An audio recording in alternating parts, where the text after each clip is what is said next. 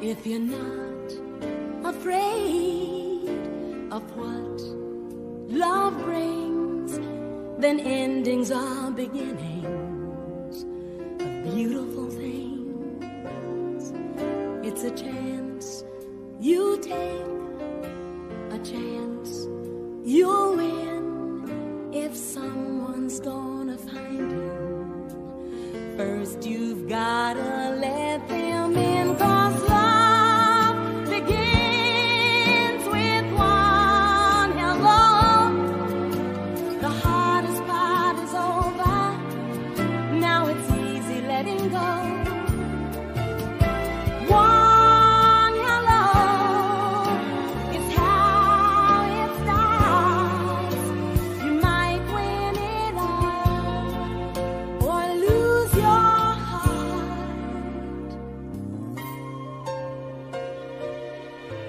If you're not afraid of what you feel, then try and keep it simple.